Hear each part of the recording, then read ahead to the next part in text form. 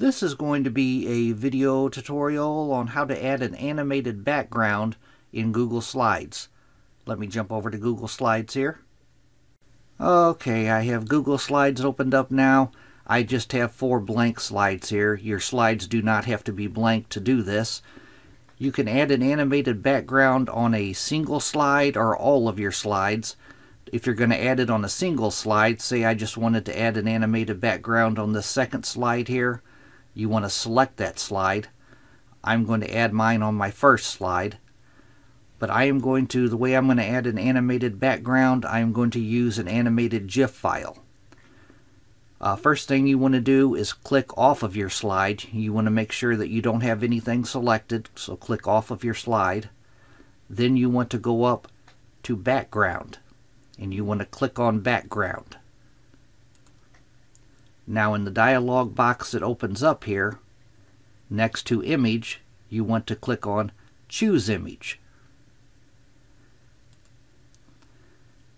And the way that I'm going to add my photo, it has tabs up top here. You could add your uh, your GIF file from Google Drive or from Google Photos. Mine is on my computer, so I am going to click on Browse.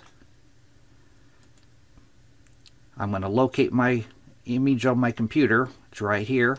I'm going to click on it to select it. I'm going to go down and I'm going to click on Open.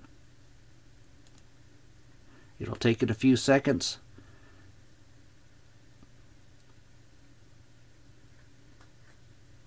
Now this next step here is where you determine whether you want it on all of your slides or just on the slide that you have selected. I just want it on the slide I have selected but if you want it on all of your slides, you would click on Add to Theme. And your animation will go on all of your slides. I'm, I'm just going to click on Done because I don't want it on all of my slides. I'm going to click on Done. And there is my background animation. That is how you add an animated background in Google Slides. Thanks for watching.